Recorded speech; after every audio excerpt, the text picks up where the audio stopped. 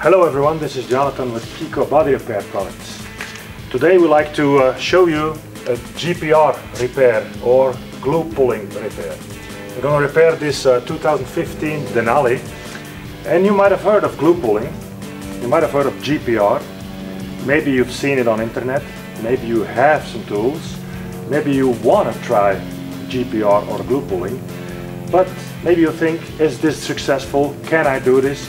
We're going to help you to become 100% successful with GPR. Why? How do we do that? We developed a step program, the six C's, to help you consistently glue pull and repair in a very successful way.